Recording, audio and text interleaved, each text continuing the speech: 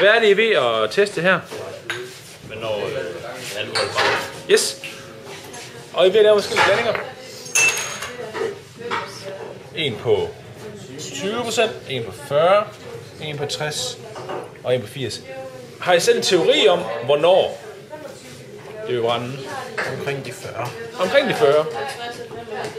Godt. Så spændende at se, om det passer. Hvis I nu gerne vil teste mere nøjagtigt, hvordan kunne man gøre det så? Altså lige omkring de 40. Vi tager 35 og se om det. Så hvis den ikke vil, så vidste jeg, at det var mellem 35 og 40. Det er en utrolig god idé. Det vil jeg kun anbefale. Nå, så den er 50 ml, så skal vi dele den med to.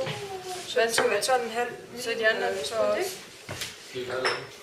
Nej, hvordan vil I lave episoden? Vi har sådan tænkt os at øh, putte forskellige op i de der glas, og så brænde det bagefter. Ja. Ja, og så øh, lige blande det først.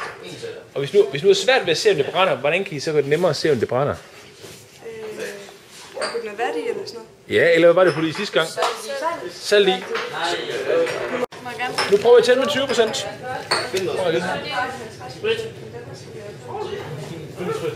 jeg prøve at putte det at putte lidt salt i, men jeg tror ikke, det er nogen Jeg gider ikke brænde. Lokkomærke.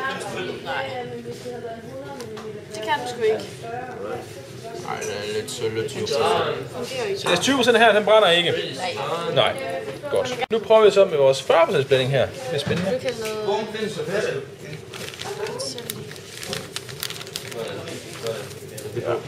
Prøv at drysse salt ned i. Og du kan se det. Så 40 procent, den brænder. Men 20 procent brænder det ikke. Skal vi lave en vi kan se?